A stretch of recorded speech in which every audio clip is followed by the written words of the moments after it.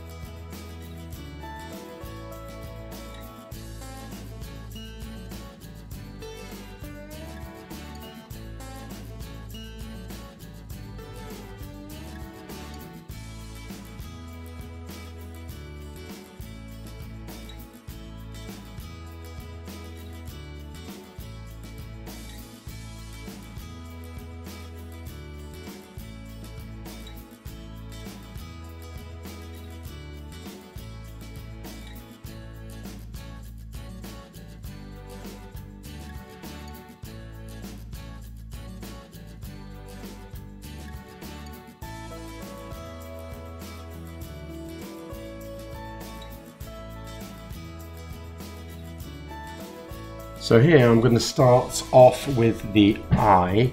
Um, it's a, always a good place to start and you can see that I'm just going to start out drawing out the proportions of the frog um, that I have here.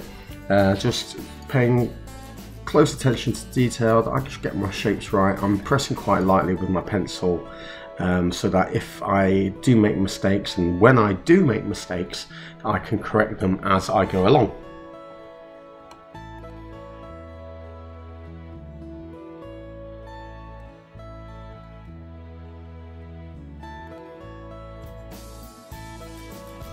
Now depending on what kind of animal or insect that you're drawing today uh, will depend on where about, whereabouts you start uh, and what orientation, which way you have your paper, whether you have it landscape or portrait. Um, always just uh, draw out the basic shapes, uh, kind of get it in proportion as best you can. Uh, you can see here uh, I've now finished my pencil drawing and hopefully in a few minutes I'll be able to um, start applying some pen.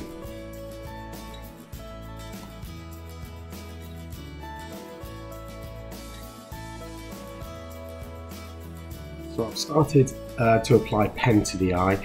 I've left the highlights uh, white uh, so it captures that reflection and you can see I'm just looking at the thickness of the lines um, pressing down quite firmly and to create tone in this drawing I'm pressing down and creating lots of dots with my pen so that the closer the dots they are the darker it looks and the further apart they are the lighter it looks and I'm able to create tone with this. Now you can try this technique in your own drawing or you might want to um, continue to experiment with um, adding cross hatching.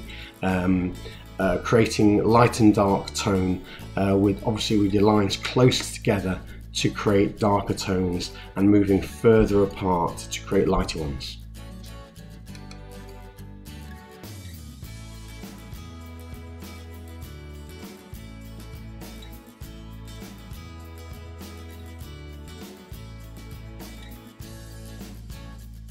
As I'm completing this drawing, I'm constantly looking at the picture that I'm copying. I haven't just looked at it once, I, I, I look at it, I uh, add some more dots, some more tone. I look at it again and keep on going back and forth um, from my drawing to the picture so that I can re recreate it as accurate, accurately as possible.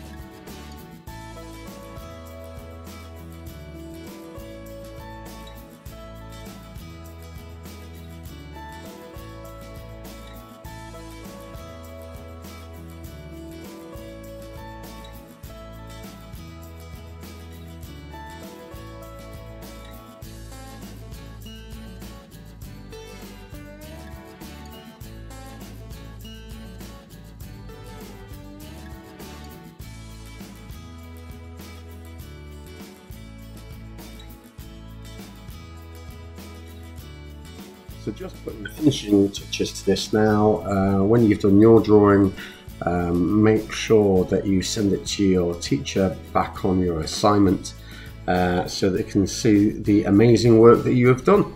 Um, thank you very much, and we'll be seeing you again.